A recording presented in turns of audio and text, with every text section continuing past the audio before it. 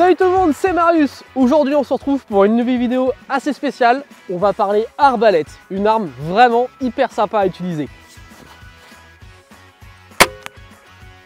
Aujourd'hui, je vais pas vous parler uniquement de l'arbalète, je vais aussi vous parler de mon arc parce qu'on va vraiment comparer ces deux armes. Parce que pour faire court, il y a une arme qui est faite pour uniquement le tir de loisir, c'est l'arbalète.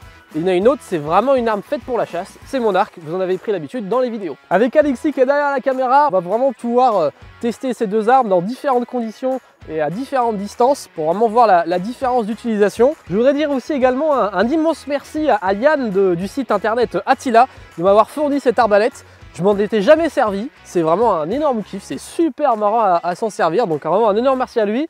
D'ailleurs vous avez aussi un, code promo sur tout le site Attila, euh, le code c'est Marius8, ça vous donne 8% de réduction sur tout, le site. Donc vraiment allez-y foncez, vous avez des arbalètes, des arcs, vous avez même des, des lance-pierres. Vous allez voir que l'arbalète c'est hyper marrant à, à, tirer, c'est à la portée de tout le monde. Et vraiment pour s'amuser comme ça, euh, c'est vraiment super quoi. Bon, comme je vous l'ai dit, vraiment, il y a une arme qui est faite pour la chasse, c'est mon arc, vous l'avez vu dans toutes les vidéos que j'ai faites, et il y a une arme qui est faite uniquement pour le tir de loisir. La chasse à l'arbalète en France est strictement interdite. Donc là, aujourd'hui, on va vraiment parler uniquement du tir de loisir, et vous verrez que c'est quand même hyper marrant. Ce modèle-là s'appelle le, Killer Instinct, mais bon, je vais vous expliquer vraiment qu'est-ce que c'est une arbalète. C'est donc déjà une arme qui va tirer donc des flèches, ou plutôt des, on appelle ça des carreaux, donc c'est une flèche vraiment petite qui est, qui est conçue pour les arbalètes. Et le fonctionnement, en fait, c'est avec un, mécanisme de poulie. Donc la corde, on va la tirer et la, poulie va démultiplier la, force qui va ensuite envoyer la flèche. Pour tirer cette corde, on ne la tire pas du tout à la main. Pour ça, j'ai un petit mécanisme avec une manivelle qui va me servir euh, bah, à tirer la corde un peu mécaniquement parce que sinon on peut vraiment se, faire mal. On peut la tirer à la main, mais bon, c'est un peu usant à force. Et puis bien sûr, on a surtout une lunette pour pouvoir euh, bah, tirer avec une grande précision. Les cordes peuvent être vraiment très dangereuses. Il faut surtout pas mettre euh, ses mains baladeuse entre guillemets. D'ailleurs, il y, a, plein d'avertissements partout parce que c'est voilà, on peut s'arracher un doigt concrètement. Donc, il faut vraiment bien manipuler ça avec euh, précision. Il y a une détente, la crosse, la lunette, une sécurité. Ce que vous voyez ici, c'est une cale en fait pour euh, quand je veux armer l'arbalète, pouvoir mettre mon pied pour fixer l'arbalète. Et donc voilà à peu près euh, cet engin. Alors je le rappelle, c'est uniquement pour du tir de loisir. la chasse est strictement interdite avec cette arme. A l'inverse, si vous souhaitez chasser avec des flèches, faudra prendre bien sûr un arc, je vous en parlais euh, après euh, sur les formalités. Bon, pour armer l'arbalète, c'est pas très compliqué, on cale son pied dans cette, euh, dans cette partie-là, pour vraiment immobiliser l'arme. On peut mettre une petite manivelle avec des crochets, donc là j'ai une petite cale dans la crosse. Donc là ensuite je mets les petits grappins sur la corde de l'arbalète, voilà comme ça. Et après j'ai une petite manivelle que je vais clipser ici sur le côté. Quand j'utilise la manivelle, là ici, la corde, hop, elle se lève. Voilà. Et ça permet vraiment, quand on met bien le pied en bas, que l'arbalète soit bien stable et je manivelle.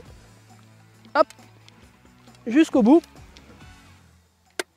Voilà, là vous entendez le petit clic. Ce petit clic là, c'est quelque chose qui est super sur ces arbalètes. C'est une sécurité anti-tir à vide. Alors pourquoi c'est important? Parce que le tir à vide, si vous tirez donc sans flèche, bah, votre arbalète elle explose.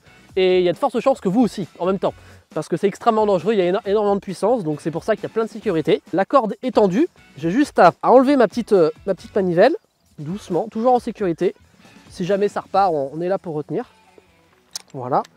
J'enlève la manivelle, j'enlève les, euh, petits crochets, et voilà. Là, mon arbalète est armée. Il y a la sécurité tout de même. Et ensuite, on va mettre ce qu'on appelle le carreau. Hein. C'est pas une flèche, hein. c'est bien un carreau, on appelle ça. C'est le, voilà, le lexique euh, technique. vous voyez, il y a deux couleurs sur les empennages, un blanc et deux bleus. Pourquoi? Parce que ça va nous permettre d'identifier correctement dans quel sens on va mettre le carreau. Et en l'occurrence, la couleur simple, on la met tête en bas, comme ça dans le petit rail, jusqu'au bout. Hop, jusqu'au bout vraiment. Et voilà. Donc là, la flèche, elle est positionnée pour le tir. Et donc ensuite, je pousse la sécurité. Là, l'arbalète, elle est prête à tirer. Donc là, il faut faire hyper attention où vous tirez dans des situations où la sécurité est respectée, donc pas face à quelqu'un, bien sûr, pas dans des maisons, voilà, faites très attention à ça. Ne mettez surtout pas vos mains sur toute cette partie-là, parce que si ça part, vos mains partiront avec, et ça, on, et des c'est quand même pratique hein, dans la vie. On épaule, on regarde à travers la lunette de visée. Une fois qu'on a la cible en vue dans la lunette, on met le doigt sur la détente, et on se laisse surprendre par le tir. Et voilà. C'est assez marrant quand même on va pas se cacher. Et ça a l'avantage d'être quand même assez précis, donc on peut s'amuser à faire des tirs sur des, sur des objets, sur, voilà, sur plein de trucs. Là, je vous ai ramené quelques petits trucs assez marrants. Et donc, euh, donc voilà à peu près comment ça fonctionne. Bon alors Alexis, maintenant c'est à ton tour. Épaule, voilà, donc là tu as la sécurité. Donc faut que tu pousses le petit bouton poussoir. Vas-y, voilà. Donc là c'est prêt à tirer. Donc prends ton temps, fais-toi surprendre par le tir. Direction la cible. C'est marrant ou pas C'est extra. C'est bien, il y a des bonnes sensations, euh, il n'y a pas de recul, ce qui Ouais. est marrant. Non, super. À vous d'essayer. Alors bien sûr, les avantages d'une arbalète, ils sont quand même assez nombreux. Déjà, c'est assez écologique, c'est moins dangereux qu'une arme à feu, bien sûr. Et vous vous demandez peut-être pourquoi est-ce que c'est pas autorisé alors que la chasse à l'arc à l'inverse, c'est autorisé. Bah écoutez, euh, je pourrais pas trop vous répondre. Je pense que c'est surtout lié à, à une méconnaissance euh, de l'arme. Euh, bon, faut savoir que la chasse à l'arc, c'est autorisé depuis à peine une vingtaine d'années, donc c'est quand même assez récent. Surtout que l'arbalète, c'est quand même une arme qui est monocoup. On tire à des distances qui sont relativement courtes par rapport à l'inverse à une carabine où on pourrait tirer à plusieurs centaines de mètres. C'est donc bien sûr bien moins dangereux. Donc bon, c'est la raison, je ne pourrais pas vous l'expliquer, c'est un peu comme ça, hein, c'est la législation française. D'autant plus que la chasse à l'arbalète, euh, c'est autorisé dans certains pays. Alors euh, peut-être qu'un jour elle sera autorisée en France, je sais pas. En tout cas, moi, si un jour elle est autorisée, euh, je serais super content parce que ça pourrait faire un autre pote de chasse bien sympa à découvrir. On verra bien ce que ça réserve à l'avenir.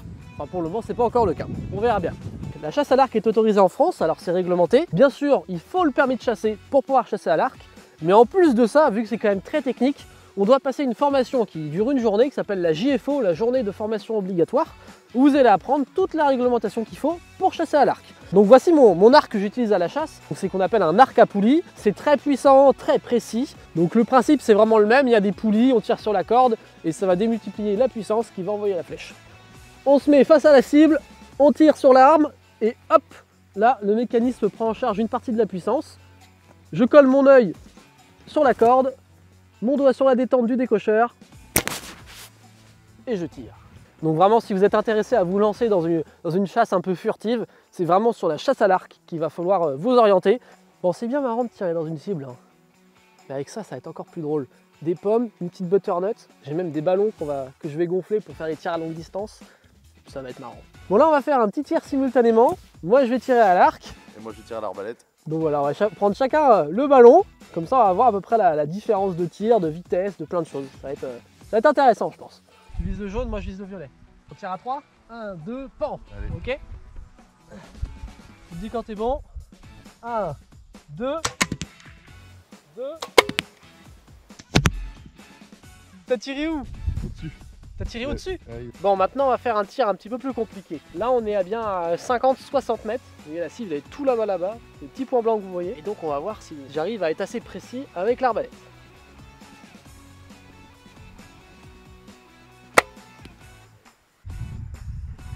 Au ralenti, on voit très bien à quel point la flèche chute au fur et à mesure qu'elle avance. Bon, maintenant c'est parti.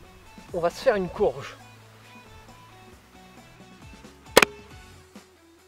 Ça l'a transpercé comme si de rien n'était. On voit même les, les traces des empennages qui sont là. La flèche est juste ici. Là.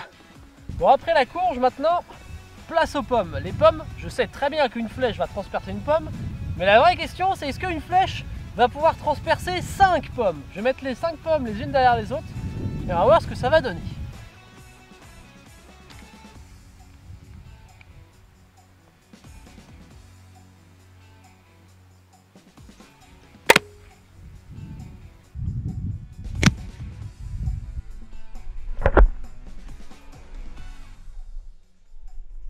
Bon, allez, deuxième essai sur les pommes.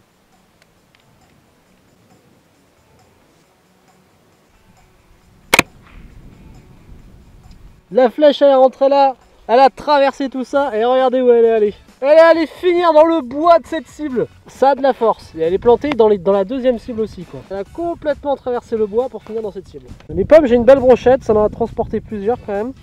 Souvent, vous me demandez à quelle distance je peux tirer avec mon arc. Et ben vous allez voir, là je vais tirer à une soixantaine de mètres sur ce beau petit lapin que vous voyez ici, ce petit ballon qui est transformé en lapin. À la chasse, on tire généralement pas au-delà de 20 mètres parce que bah, on tire sur un animal vivant, donc on doit on doit s'obliger à faire un tir précis et mortel. Mais là, ce ballon, c'est pas grave. Là, on peut essayer. Ça va être rigolo. Et il va me falloir plusieurs essais avant d'y arriver, car je dois viser vraiment haut pour que la flèche atteigne la cible.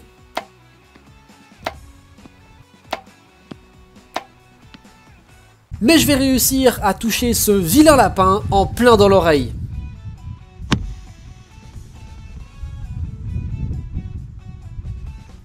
On peut dire que j'ai visé l'oreille du lapin. Hein. Alors c'est pas vrai. En fait, il a pas pété, mais la flèche a bien transpercé le lapin et en fait, il s'est dégonflé sans péter d'un coup. Et voilà, en acte de chasse, on tire à pas plus de 20 mètres. Ici, j'ai fait le tir un peu en mode loisir, hein, bien sûr. Et c'est sympa. Bon, vous voyez, une arbalète, c'est super marrant à utiliser pour du tir de loisir. On peut tirer sur n'importe quoi. C'est vraiment, c'est super sympa. Encore un immense merci à, Yann du site internet Attila. Vous avez un code de, de réduction, Marius8, qui vous donne 8% de réduction. Donc voilà, foncez faire un tour si vous voulez faire des bonnes acquisitions pour pas trop cher. Vous ne regretterez pas. Merci à vous d'avoir regardé cette vidéo. Je vais tirer une dernière flèche et on se voit très vite. Là, il repartira plus. Net, propre. C'est marrant, hein C'était pas mal. Allez, zoom